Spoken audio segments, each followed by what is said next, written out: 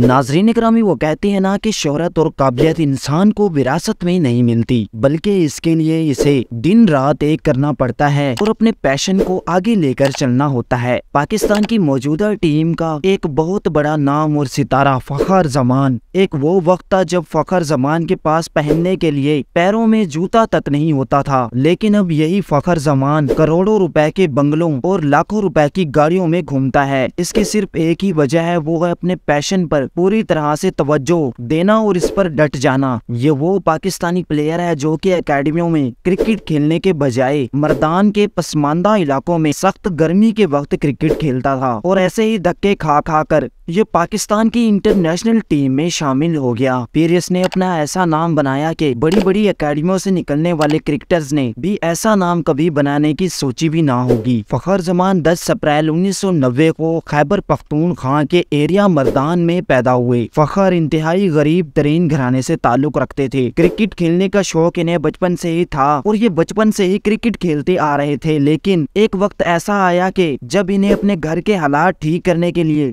Cricket को छोड़ना पड़ा और फाखिर मर्दान से कराची चले गए और वहाँ पर इन्होंने 2007 में पाकिस्तान नेवी को ज्वाइन कर लिया। इसके बाद फाखर जमान पाकिस्तान बहरिया की अच्छी पोस्ट को अचीव करने में भी कामयाब हो गया। फखर की ज़िंदगी तब बदली जब इसकी मुलाकात एक ऐसे इंसान से हुई जो के बहरिया नेवी क्रिकेट का कोच था और इस इंसान को ये एहसास हो गया था कि फखर जमान का करियर पाकिस्तान नेवी में नहीं बल्कि पाकिस्तान क्रिकेट टीम में है। और इसी वजह से इन्होंने फखर जमान को पाकिस्तान नेवी की ड्यूटी से हटाकर इसे नेवी क्रिकेट में एक प्रोफेशनल क्रिकेटर के तौर पर आयद कर दिया और बतौर प्रोफेशनल प्लेयर 2008 में इनका बहरिया में बतौर खिलाड़ी क्रिकेट करियर का आगाज़ हो गया और इन्होंने 2008 से 2016 तक अपने क्रिकेट के पैशन को जनून में बदल दिया और 2016 में इनके क्रिकेट में जज्बा और इंटरेस्ट को देखकर इन्हें पाकिस्तान सुपर लीग 2016 में लाहौर कलंदर की टीम टीम में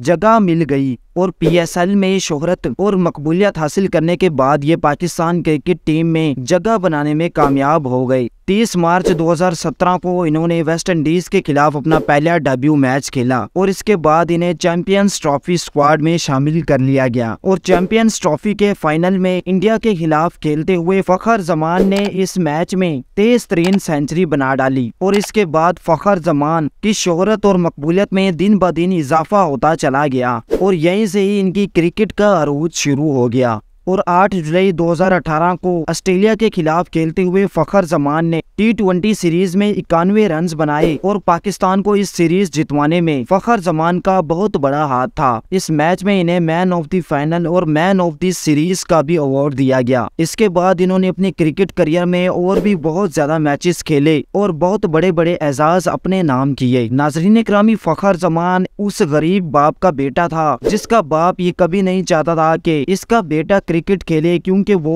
क्रिकेट को एक फजूल खेल समझता था और वो ये चाहता था कि इसका बेटा पढ़े लिखे, ना कि क्रिकेट में अपना टाइम वेस्ट करे। लेकिन क्रिकेट का खेल फखर जमान की रगों में खून बनकर दौड़ रहा था और अपने पैशन में इतने ज़्यादा इंटरेस्ट और हार्ड वर्किंग की वजह से आज फखर जमान ना सिर्फ़ पाकिस्तान में बल्कि पूरी दुनिया में शोहरत की बुलंदियों पर है। और ये पाकिस्तान का वेल नाउन क्रिकेट प्लेयर है। अगर आप भी फखर जमान से प्यार करते हैं तो आपने इस वीडियो को लाइक लाजमी कर देना है और हमारे चैनल को सब्सक्राइब और साथ में बेल के आइकन को भी लाजमी प्रेस कर देना है।